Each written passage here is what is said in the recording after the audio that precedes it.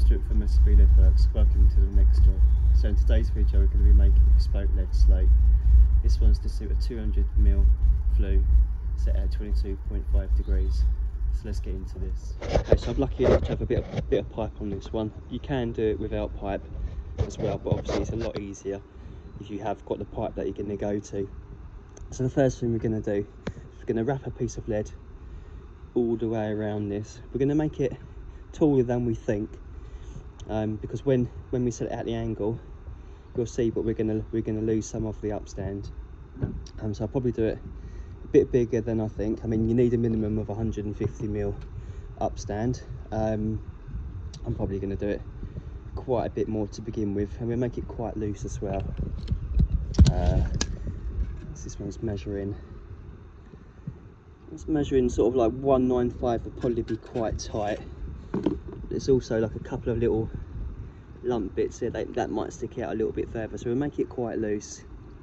Um, so yes that's the first thing we're just going to cut a piece of lead wrap it all the way around and then weld up the upstand. So let's do that first. Right okay so I've just cut my piece of lead now that I'm going to wrap around this. 660 by 350 I've also just cut off some welding rods as well and they've all been cleaned up as well. So what we're going to do is we're going to wrap this round nice and loose as we begin with.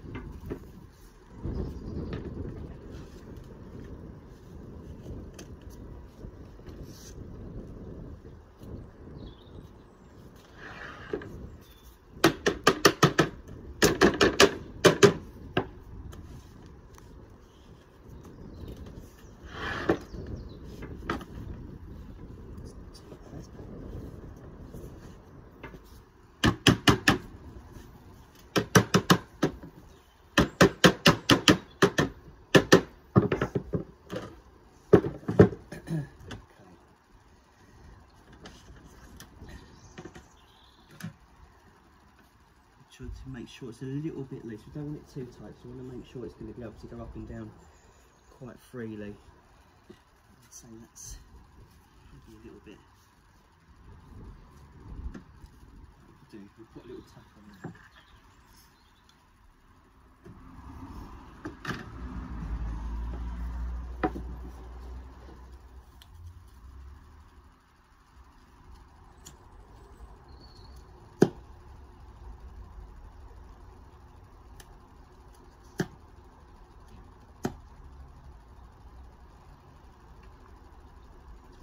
Elections come through again. Haven't been used for a while.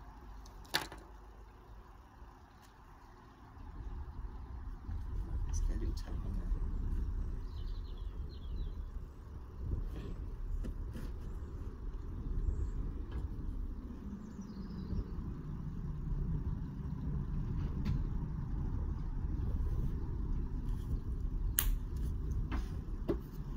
Same on the other end.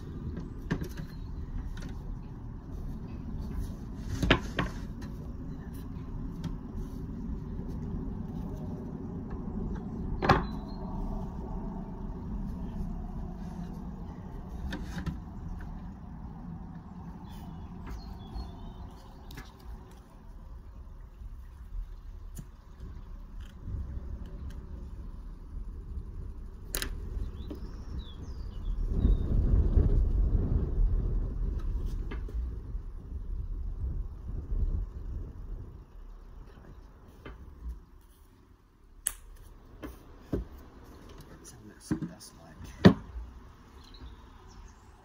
There's a bit of there's a bit of movement in there. And it's not too baggy. We don't want it too baggy, but we want to make sure it's a little bit loose so it goes up and down quite freely.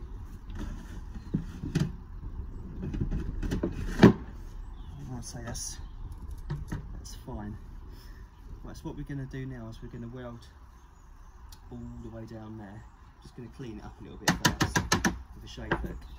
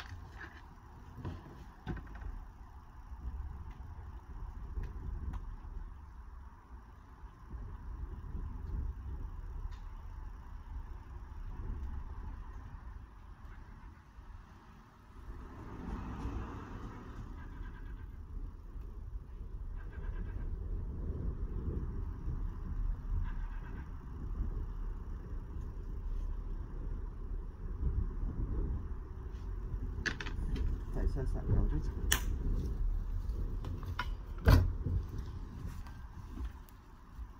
So what we're going to do next, we're going to set the pitch. Okay, so that's sleeve all welded up now. So what we're going to do now is we're going to set the pitch at 22.5 degrees. So what I've got here is I've got a protractor and I've just set that on 22.5 degrees. I've got a scrap piece of lead here. What I'm going to do is I'm just going to put that there I'm going to scribe a line down that ruler there and that's going to give me my 22.5 degrees. So we'll get that cut off and then we can look at setting this out. Okay, so I've just cut off my 22.5 degree wedge now. So that angle there is now 22.5 degrees. So what I'm going to do now is I'm going to tack this this piece of lead to support it.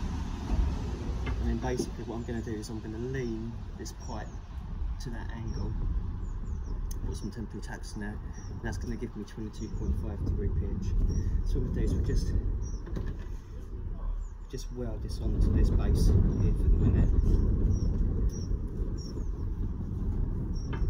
So if you're doing it on site when you've already got the, um, the roof pitch next to you, it is a lot easier than having to do it this way.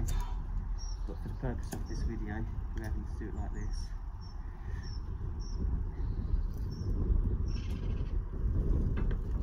Let's get a couple of tacks on there.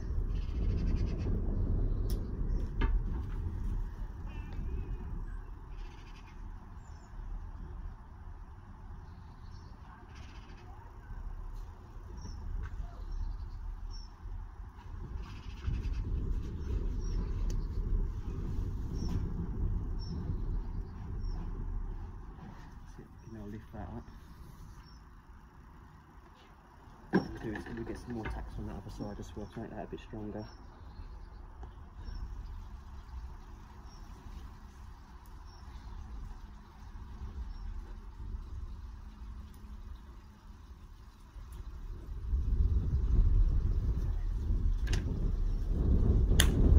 So that is now ready so that we can get our pitch. Okay, so what I've done now is I've now tacked that to that angle. So that is now at 22.5 degrees.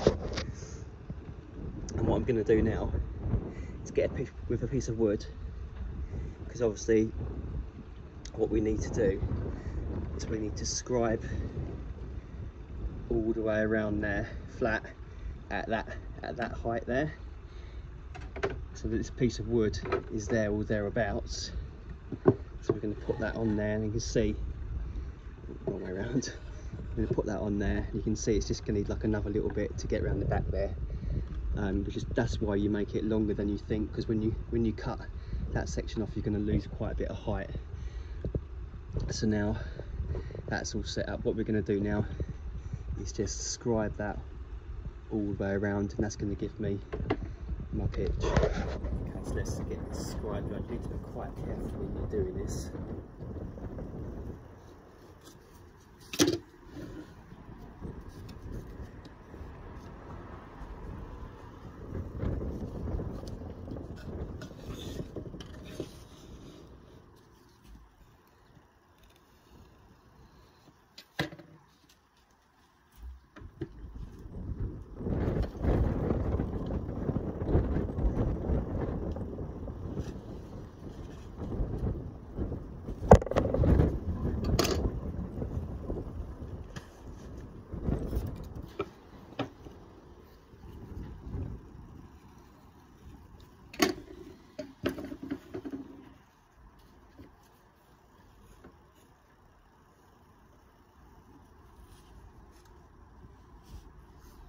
Okay, that is now all scribed round. Release that. Okay, so what we can do now, take this pipe out here. What I'm going to do is just cut round around that line that we've just scribed. This side.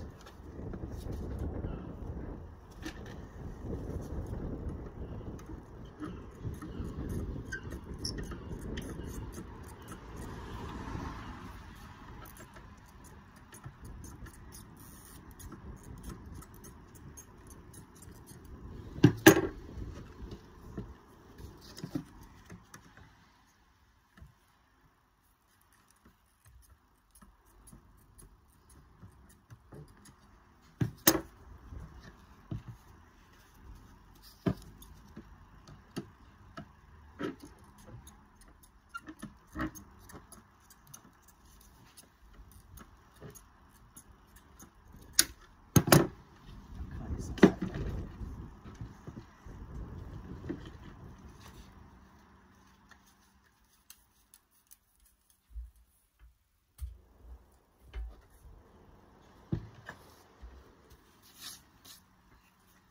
It's nice, nice and flat as well, ready for welding. So that now, It's my 22.5 degree pitch. So we can knock over the flange and get that ready for welding. Okay, so the next thing we're going to do now is we're going to knock over a 10mm flange all the way around on this edge. So just using the bossing mallet, we're going to do, finger to support it, just knock over 10mm there.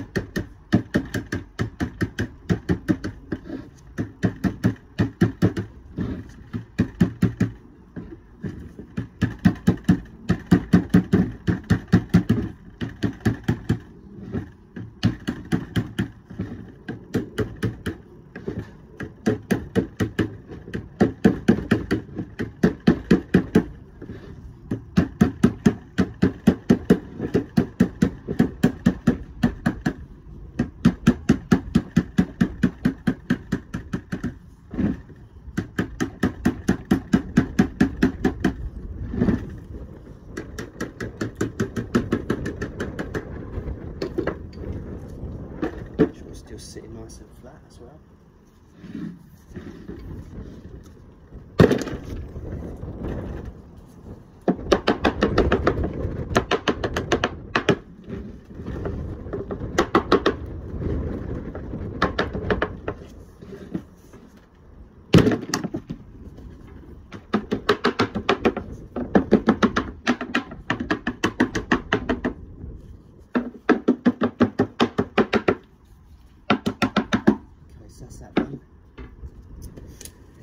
Do now is just make sure the pipe still goes all the way through before we go any further.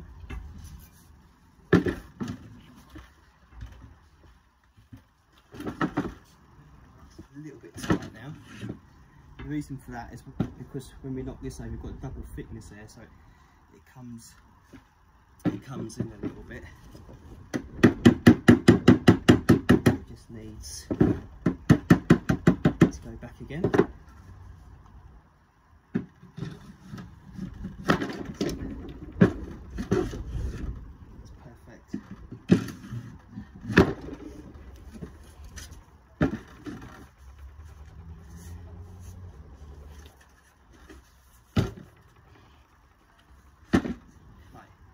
What we need to do now, just mark our base now we need to make sure we've got at least 150 mil all the way around. So we're probably going to be looking at sort of like a 600 by 600 base for this, I would have thought.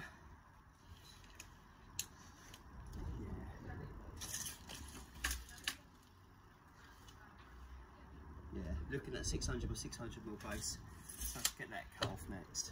Okay, so I've just cut off my base 600 by 600 what I've also done is I've just marked where the centre is. So now we know where the centre is, we can put this into position. You can just see through through there where the centre is. What I might do, I might actually cut down some of this upstand. It does look quite big, doesn't it? Um, I think first we're going to cut some of this upstand off.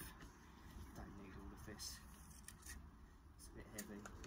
So I'm just going to take off 40 mil, scribe that round from the top there.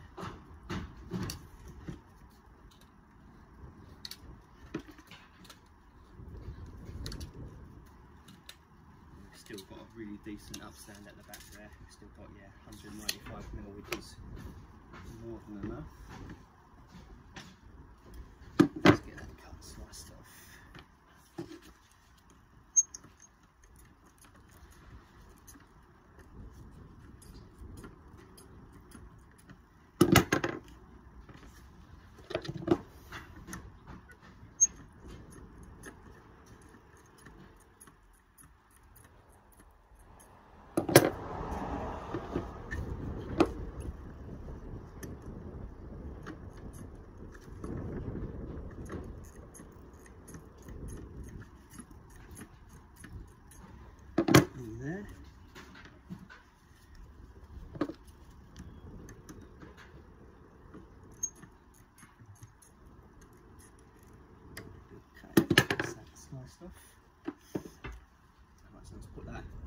centre mark.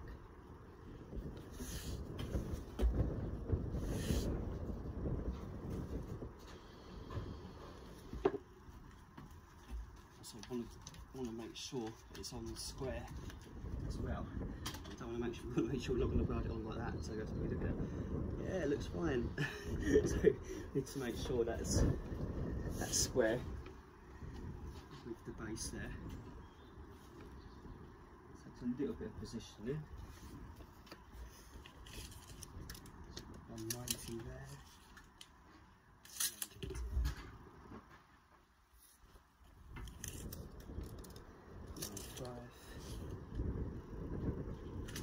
Five, it's good.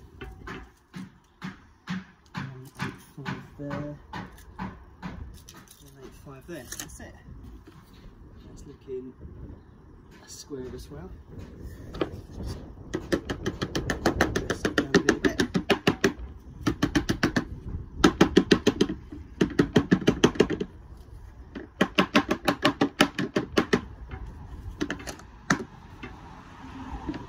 What you can do, if you want, you can scribe all the way around there, take that away, then you could cut cut out the base now if you want. But I think what I'm going to do in this case, going to weld it on first, then we flip over, then we'll either cut the back out or cut the back or, or um, use snips to get rid of the lead that we don't need at the back there.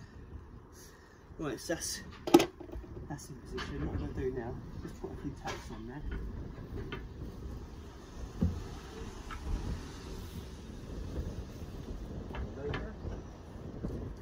Let's get some tacks to keep it, keep it in place.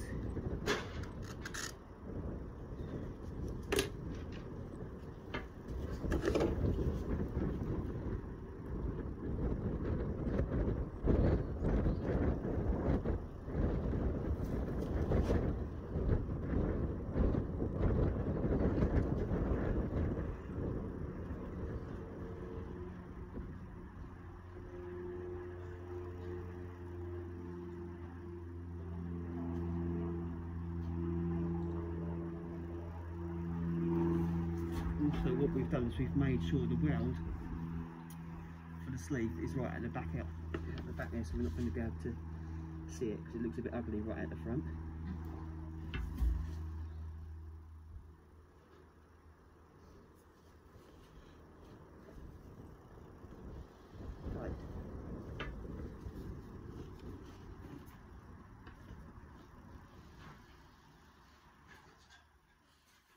Some. What we're going to do now just shave it that, ready, it ready for welding.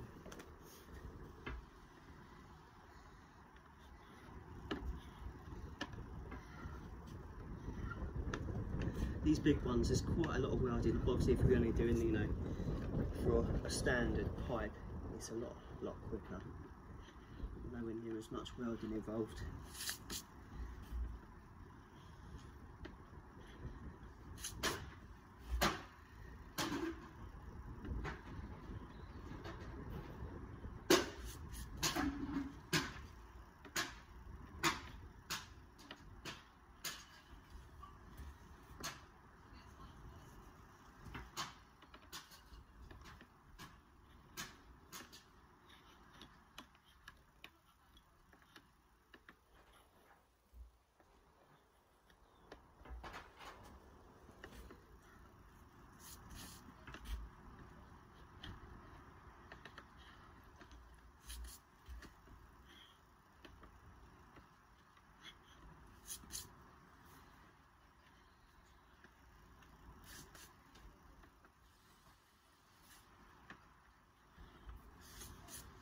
Okay.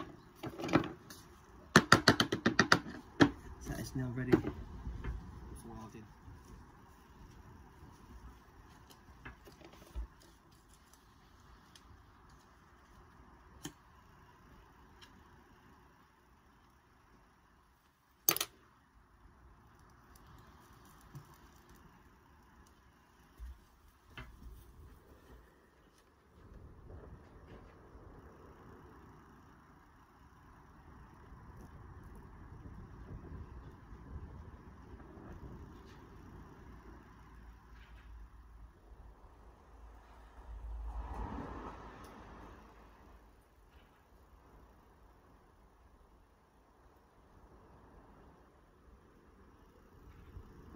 a little bit too warm that flame.